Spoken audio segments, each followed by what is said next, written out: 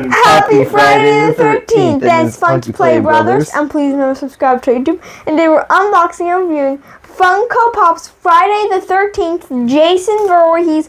He looks like the NES Jason, but he's not. He doesn't look like the NES Jason. His face is just blue.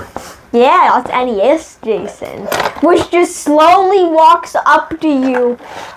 And like, one of his hands is machine, he's like, and you can easily leave the room and then come back and he just disappears.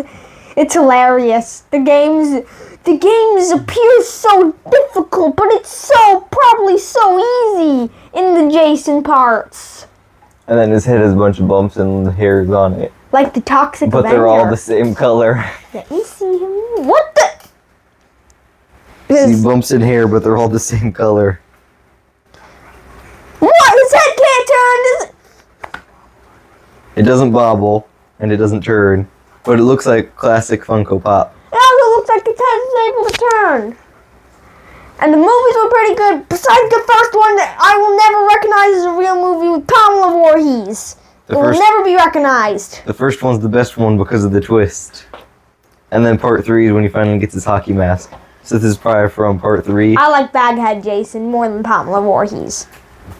But I rate him a 10 out of 10, two thumbs ups. And nine out of 10, zero thumbs up. Cause his his machete goes straight and down. Well, that's because probably because of the way he was packaged, so his machete got bent a little. But still 10 out of 10, two thumbs ups. So, happy Friday the 13th. So, friends, thanks for watching. Like, comment, subscribe, hit the notification bell. Follow us on our social medias, Funky Play Brothers and Funky Play Bros.